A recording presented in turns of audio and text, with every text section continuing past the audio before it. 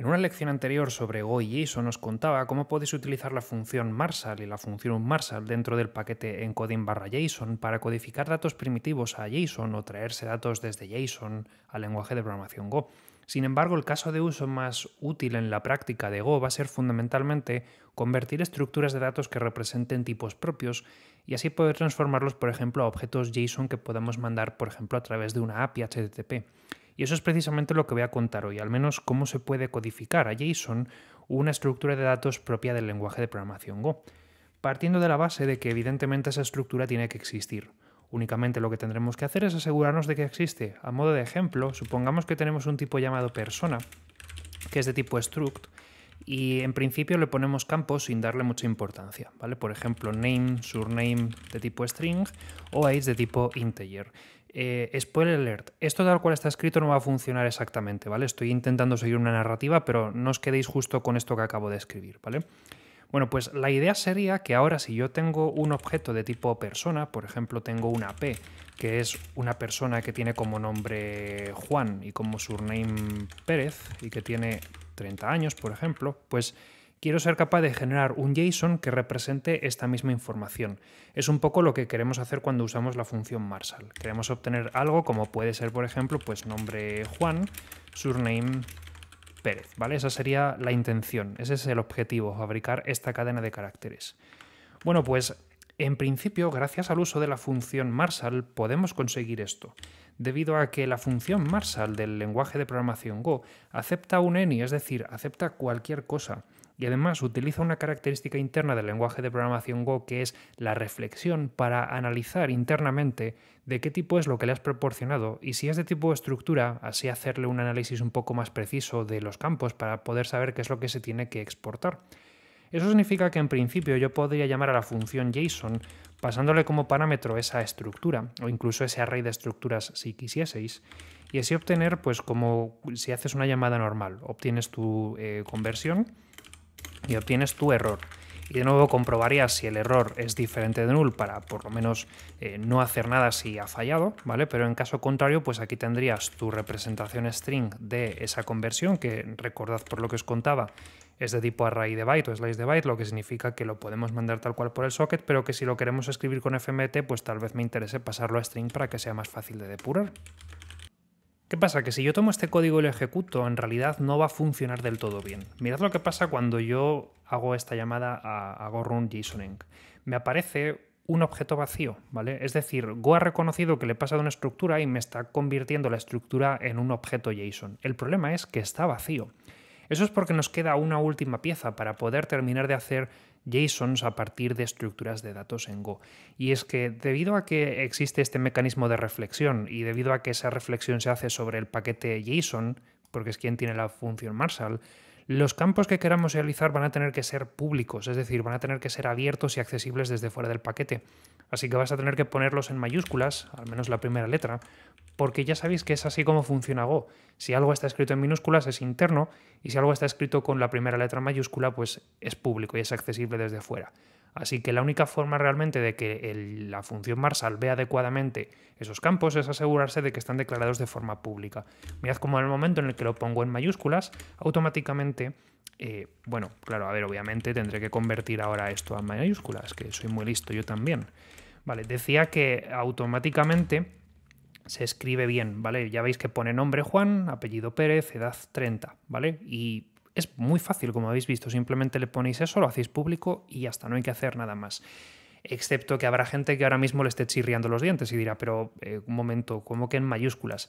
¿Qué hacemos cuando queremos modificar la forma en la que se denomina el campo? ¿vale? Porque en algunas ocasiones va a ocurrir que nosotros necesitamos que nuestro objeto se exporte con unos campos con nombres concretos, porque a lo mejor tenemos que interoperar con otra biblioteca de software que requiere que se llamen de una forma específica. O simplemente porque a lo mejor nuestras convenciones nos digan que utilizar mayúsculas o utilizar eh, esta nomenclatura donde no hay guiones bajos pues no sea propicia para un JSON. Bueno, pues nosotros tenemos un mecanismo para modificar la forma en la que JSON genera los nombres de los campos, que es mediante anotaciones, ¿vale? Mediante tags, que es una característica que tienen las estructuras de datos en el lenguaje de programación Go, que te permite adjuntarle a cada uno de los campos algunas anotaciones adicionales que pueden ser extraídas por algunas bibliotecas específicas. No es una función muy utilizada en Go más allá de serialización, pero bueno, pues está ahí para echarnos un cable en algunas bibliotecas. Y JSON es precisamente una de estas, ¿vale? Entonces, condición número uno, es más conveniente si vamos a meter este tipo de anotaciones que pongamos cada campo en una fila separada, así que nada de comas, ¿vale? Ponemos cada uno de los campos como una línea independiente, ¿ok? Y ahora lo que hago es agregar una anotación poniendo al final de mi campo lo siguiente, tengo que poner una cadena de caracteres que como va a llevar en su interior comillas, la voy a poner utilizando los símbolos del backtick, ¿vale? Para que no me dé problemas si pongo comillas. Y ahora, esa cadena tiene que empezar con JSON dos puntos y a continuación tiene que llevar entre comillas dobles cómo quiero que se llame mi campo cuando lo exporte a JSON o cómo quiero que se llame mi campo por analogía cuando se lo traiga de JSON. Así que si quiero, por ejemplo, que mi name no sea name, sino que sea primer nombre o first name, pues tendré que poner así tal cual first-name. Cuando Go serialice mediante la función Marshall, si detecta que el campo que está convirtiendo, y que por supuesto tiene que ser mayúscula para que pueda pillar, lleva una notación que empieza por JSON dos puntos, utilizará el valor de la cadena de caracteres que lleve a continuación para indicar cómo se tiene que llamar ese campo. Lo que significa que en este momento, sin haber puesto el resto, si yo lo guardo y lo vuelvo a ejecutar, el campo name se va a llamar ahora first name, que es como se lo he dicho. Claro, tenéis que tener en cuenta que el resto se va a llamar porque lo va a inferir automáticamente. Si quiero que se llamen de una forma concreta, no me quedará otra que ponérselo a todos. Por ejemplo, last name o age, ¿vale? Tiene que estar escrito entre comillas, así que por eso ponemos esos backticks alrededor, ¿vale? Y con eso pues ya estaría, ¿vale? First name, last name y age. Una estructura puede apuntar a otras estructuras y la función Marsa lo va a pillar adecuadamente. Imaginemos este otro ejemplo. Ahora fabrico una estructura llamada ocupación que me permite indicar si una persona está empleada o no y en qué posición trabaja. E imaginemos que yo le pongo a persona un campo job que va a ser de tipo ocupación. Puede especificar también su tipo, por ejemplo, o su nombre, perdón, poniéndole tal vez job, y claro, ahora lo que ocurre es que si no le digo nada, pues por defecto no va a tener eh, eh, un valor establecido. Así que voy a decirle que, el, job va a ser una nueva ocupación que se va a corresponder con que está empleado y que su posición va a ser, por ejemplo, ingeniero. ¿De acuerdo?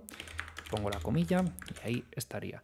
Entonces, ¿ahora qué ocurre? Pues simplemente que es recursivo. Es decir, si hay una estructura que es pública y que es serializable, pues cuando yo trate de ejecutarlo, como veis, pues se va a agregar ese campo llamado job, que va a valer pues lo que tenga que valer. ¿vale? Lo voy a pasar por JQ para que sea más fácil de ver. Ahí estaría, está empleado, y la cadena de caracteres, que le he dicho string, no sé por qué, tendría que haberle dicho position, perdón, pues contiene lo que hay que tener. ¿vale? Em, por cierto, ya para terminar, evidentemente, los arrays funcionan exactamente igual, o los slices. Imaginemos que yo digo que job es un slice de occupation, ¿vale? Y le digo que esto es em, perfecto. Entonces ahora job es un array de ocupaciones, aquí tenemos la primera, pero puede haber más, ¿vale? Podemos decir que también es eh, contable, ¿vale? Sea como sea, que se diga en inglés. Bueno, pues los arrays se procesan exactamente igual. No tenemos ni que hacer nada. Fijaos que en el momento en el que es de tipo array, la conversión ya me extrae el array tranquilamente, ¿vale? Y cada uno de los elementos es serializado a su propio modo. Así que en definitiva, con la función Marshall podemos serializar también estructuras siempre y cuando cumplamos estas normas, ¿vale? Que los campos sean accesibles de forma pública y que si queremos modificar algo utilicemos anotaciones. Puede que haya más vídeos de este tema en mi canal de YouTube, así que si he grabado más lecciones sobre cómo utilizar JSON con Go, habrá una lista de reproducción en pantalla para que puedas revisarlas todas y así puedas aprender a utilizar esta API. Nos vemos en próximas lecciones, un saludo y hasta luego.